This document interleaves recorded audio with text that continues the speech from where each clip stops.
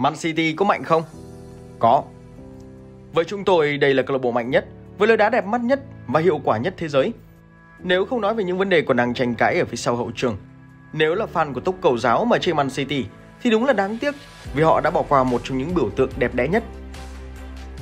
Mùa này, The Citizen đối diện với cảnh thập diện mài phục khi bị cho là đã không tuân thủ các quy tắc của Premier League về lợi nhuận và tính bền vững.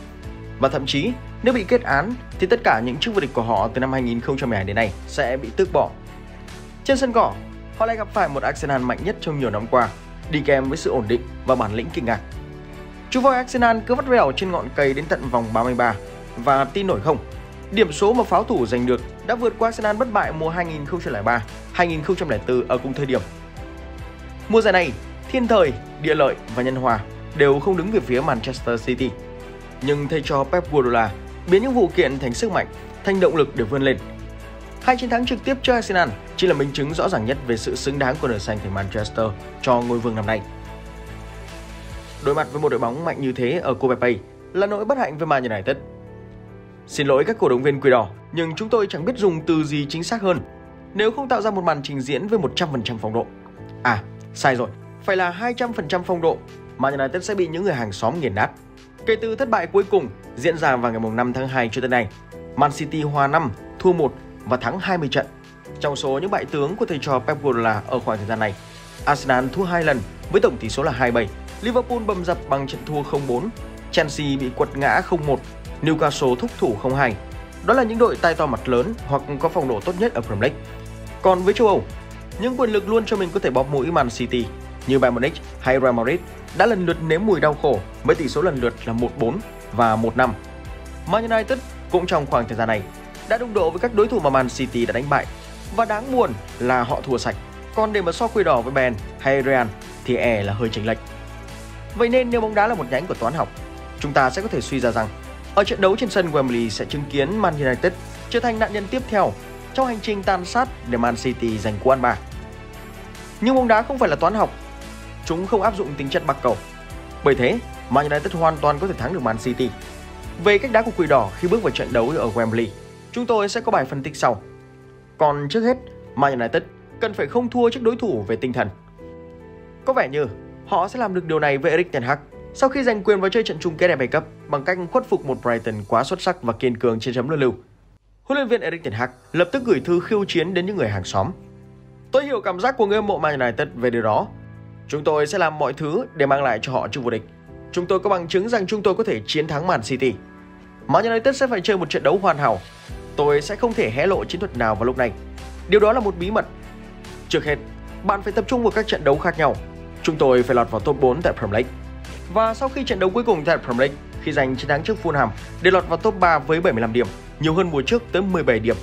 Ten Hag lại một lần nữa tái khẳng định, Man City đừng nên coi thường ông và các trò. Trước hết, tôi muốn gửi lời cảm ơn đến các cầu thủ.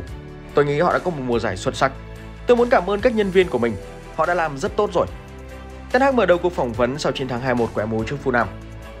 Sau đó, chiến lược gia Người Lan chỉ lên khán đài Old Trafford rồi nói: Thứ hai, tôi rất muốn cảm ơn tất cả các bạn.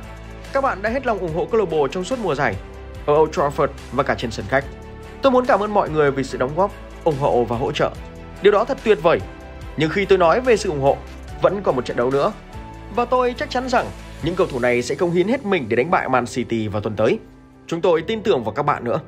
Với sự ủng hộ của các bạn, tôi chắc chắn chúng ta sẽ có cơ hội thực sự tốt để mang chiếc cúp trở lại Old Trafford. Bài tổng động viên của Ten Hag đã được đáp lại bằng những tiếng hò reo lớn.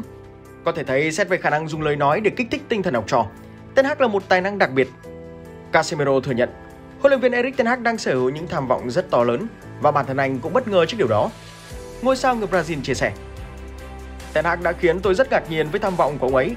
Các cầu thủ chúng tôi luôn nói với nhau rằng, Ten Hag trông hơi nặng nề, vì ông ấy luôn thích chiến thắng. Ten Hag luôn yêu cầu nhiều hơn, bởi vì đối với ông ấy 100% là không đủ. Chúng tôi phải cống hiến hơn 100% sức lực. Ten Hag làm việc rất nhiều và rất tham vọng. Ông ấy có tham vọng thay đổi cả câu lạc bộ. Ten Hag là một huấn luyện viên nhận được sự tôn trọng từ tất cả các cầu thủ, cũng như người hâm mộ. Hãy lưu ý đến chi tiết rằng, người phát ngôn những điều này là một siêu cầu thủ đã chinh phục năm chiếc vô địch Champions League với Real Madrid. Vậy mà anh ta vẫn ấn tượng với Ten Hag thì chứng tỏ vị huấn luyện viên này không phải dạng vừa. Và cũng đúng thôi, Ten Hag đến với Man United trong lúc niềm tin xuống đáy Và trong những bài phỏng vấn đầu tiên, ông cho biết mình đến để kích thích ham muốn chiến thắng trong các cầu thủ và một câu lạc bộ lớn như Man United không được phép lặp lại mùa giải trước. Cụm từ câu lạc bộ lớn luôn được phát đi rất nhiều lần trong những lần mà Ten Hag tiếp xúc với truyền thông. Lặp đi lặp lại luận điểm ấy chỉ là cách mà cựu huấn luyện viên Ajax muốn tái khẳng định hình ảnh của Man United. Một câu lạc bộ đã quá lâu lạc lối trong quá khứ và bị các cổ động viên của đội khác mỉa mai là gánh xiếc, trò hề, tập thể tầm trung. Với Ten Hag, đó chưa bao giờ là nơi mà Man United thuộc về. Dưới thời Solskjaer, Quỷ đỏ bước vào sân với tâm thế họ sẽ là người chiến thắng. Chính vì thế, đối thủ đôi khi sợ hãi cái uy mà đội bóng này tỏa ra. Nhìn chung, xu hướng thành tích và phong độ của Man United đang đi lên và nó được đo lường có sử cứ. Club Ilo một trang đo lường và xếp hạng thành tích câu lạc bộ thế giới đã tăng cho Man United 7 bậc, từ thứ 17 lên thứ 10 tại danh sách các đội bóng mạnh nhất châu Âu. So với mùa giải trước, Quỷ đỏ thắng nhiều hơn tới 7 trận. Và giờ, trước địch thủ mạnh nhất của mùa giải, Ten Hag cũng muốn gửi gắm đến các học trò những điều mà ông suy nghĩ. Việc đách gì phải sợ Man City, đến là đấu, đụng là đập.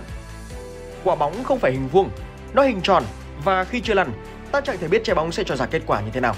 Man United kém hơn Man City cả vạn dặm, nhưng khi đã vào chung kết, lại là một trận derby, không thể nói trước được điều gì. Ten Hag cũng cho thấy ông đã hô biến Man United thành đội bóng khá giỏi trong các mặt trận đấu cúp.